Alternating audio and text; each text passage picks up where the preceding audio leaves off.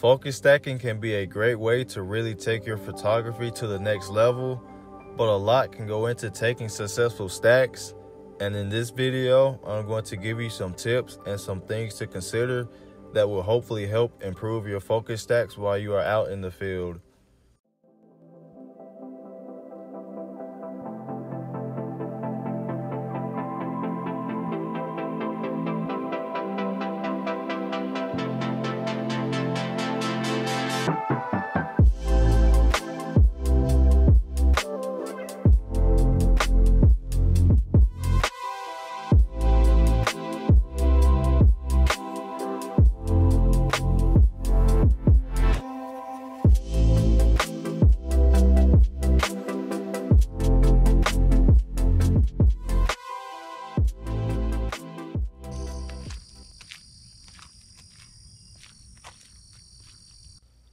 First thing you want to do when you find a subject is to give yourself a moment to observe the scene.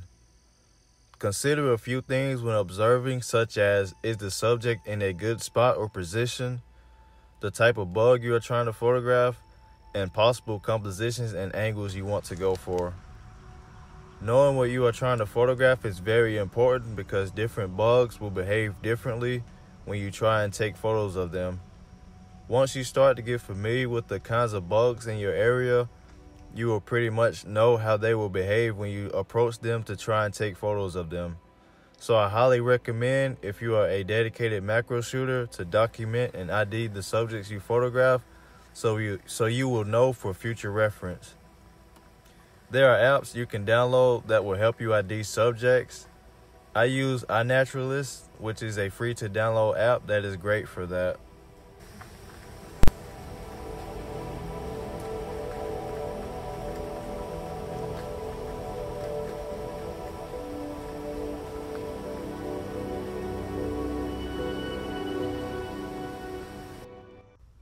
Another big tip for successful focus stacks is to stabilize your camera to the best of your ability. Whether you shoot handheld like I do or you use a tripod, camera stabilization is the biggest key for a successful focus stack because if you move your camera during the stack, it will throw off the alignment and you will have to start all over again. For this photo attempt, I was photographing a beetle that was on one of the leaves and for stabilization, I had the leaf it was on in one hand and I rested the front of the lens on the hand holding the leaf.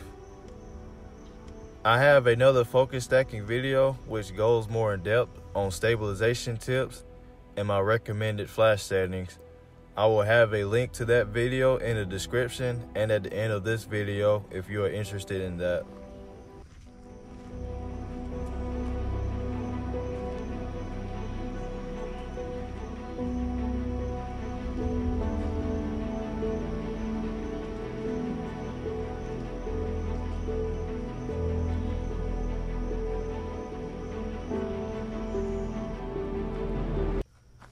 Tip number three is to always have a plan when you are out shooting. And what I mean by that is just to think about the kind of shot you want before shooting and try different angles and compositions. For this shot, I was photographing a spider whose web I accidentally ran into. And for my first shot attempt, I shot it while it was on the sidewalk, but I didn't like the angle. For macro shots, when the subject is looking directly at the camera, I always try to get exactly eye level with the subject I'm photographing because it just makes for more interesting photos. So I grabbed a leaf for it to crawl on and I used a stick to place the leaf on so I could get eye level with it. Stacks like this when the subjects on the ground are the easiest since you have the most stability while laying down like this, so this stack wasn't too difficult.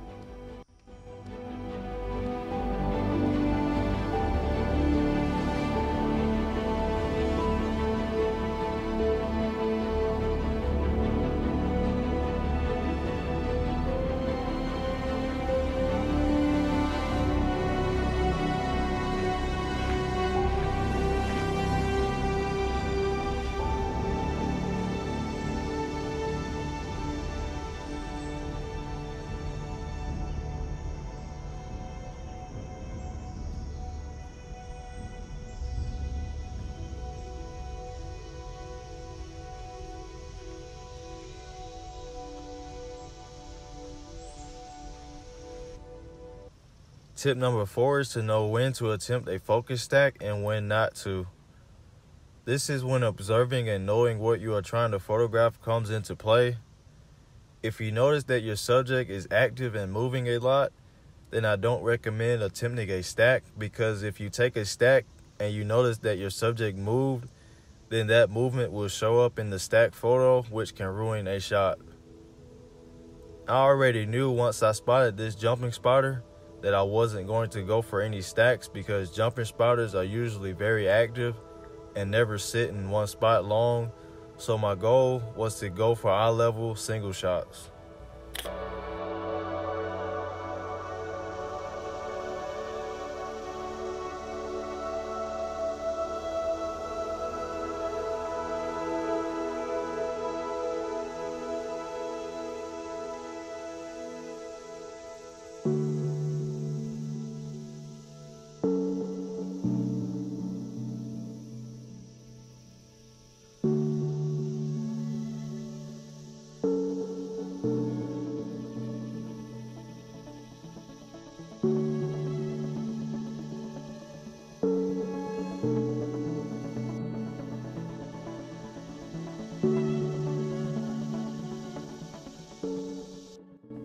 With a little patience, your subjects will sometimes sit still long enough for you to attempt a focus stack. That's what happened with this jumping spider I found near the previous one. It was moving around at first, but it stopped moving a few times and I was able to get these stacks.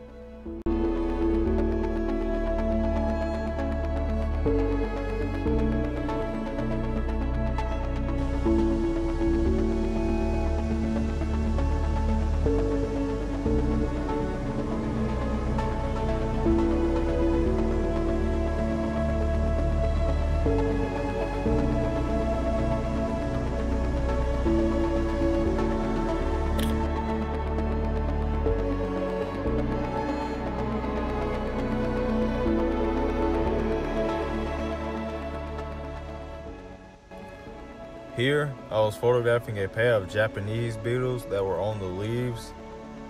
I know from past experiences with these beetles that some of them can be skittish. It's like a 50-50 with them because the beetle from earlier in this video was chill and didn't move. But with these, since it was two of them instead of one, I decided to be extra cautious and not grab the branch they were on for extra stability because I thought doing that would startle them so instead, I had my left elbow tucked into my side and I just tried to stay as still as possible. In situations like this, I'll even hold my breath while taking photos. In a future video, I plan on going a lot more in depth on focus bracketing and tips on how to get the most out of it.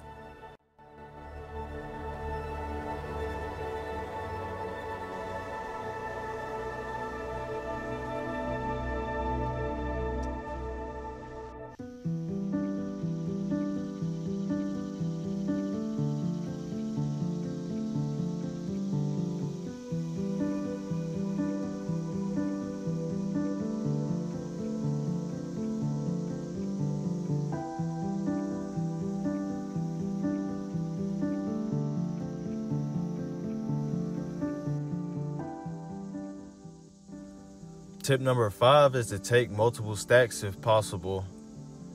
I know it's not always possible with every bug you come across, but for those static subjects that you know aren't going to move, I recommend taking multiple stacks. It's really easy sometimes to mess up during the photo taking of a stack. Maybe you missed a section on your subject or the subject itself moved that's why it's important to look through your photos while you are at the scene to make sure you are leaving with a quality stack. Having more than one stack to look through will just give you a better chance at having a successful one. This robber fly that I was photographing here shockingly stayed still and did not move at all. I took about seven different focus stacks of this robber fly alone, trying out different angles, and I'm really happy with how these shots came out.